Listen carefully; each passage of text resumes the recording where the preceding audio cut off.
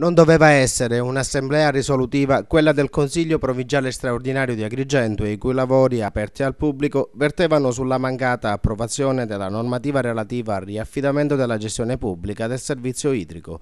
Comunque ad Aula Giglia si è ampiamente discusso dei tanti problemi che in provincia gravitano attorno alla gestione ed erogazione agli utenti del prezioso liquido.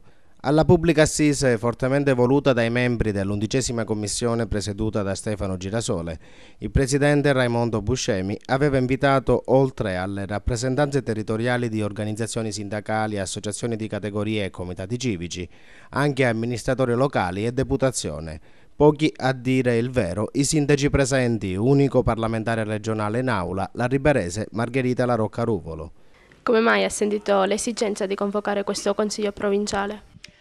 L'esigenza nasce dal, dalle persone che hai dalla gente, dal piacere di rappresentare la gente, perché questo è un, un piacere, un gusto che la politica sta perdendo. Io invece voglio continuare a rappresentare la gente, voglio continuare a rappresentare il bisogno, la gente che ha più difficoltà, quelli che ogni giorno soffrono anche a pagare la bolletta dell'acqua. Quindi per me è fondamentale alzare il, il, livello di attenzione su questo problema che è, che è vitale per il nostro territorio e per la nostra gente.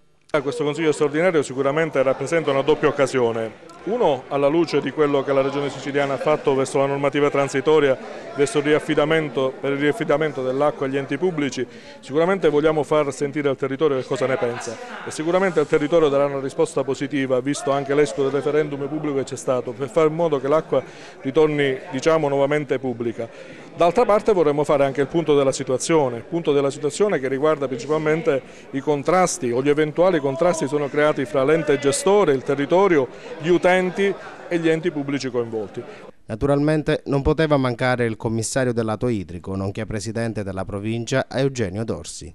Quale sarà il futuro del lato idrico? Eh, mi pare che sia ben chiaro, questo lo ha, lo ha determinato la regione siciliana. Sono stati nominati i, i commissari liquidatori, per cui se sono liquidatori è perché debbono, debbono cessare eh, l'attività. La, il problema è che eh, ci sono tante aspettative sulle quali purtroppo eh, eh la confusione che si crea tra quello che è il lato idrico e quello che, che è il, gestore sono due cose completamente distinte e separate perché purtroppo il lato idrico si trova in una posizione eh, dove ha riscontrato che il contratto che si era stipulato tanti anni fa viene continuamente eh, ripreso da Girgendi Acque che a sua volta non ha avuto tutte le condotte o da fanno una legge a livello regionale eh, perché chi non, ha, chi non, ha, concesso le condotte li può mantenere deve chiudere i battenti li chiuderà al più presto sperando di di, di, di agire facendo gli interessi dell'utenza. Dell